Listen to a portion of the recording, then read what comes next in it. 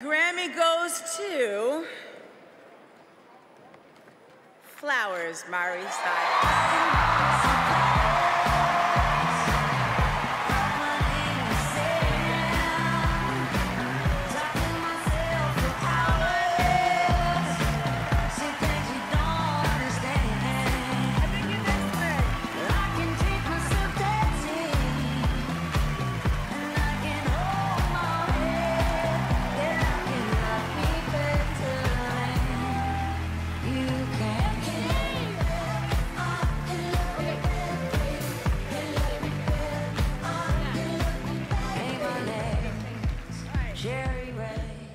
This MC is gonna stand by this MC for this sticking with because this is just too iconic.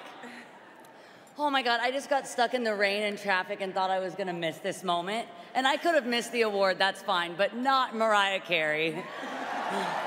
I just saw you at the Hollywood Bowl, it was everything.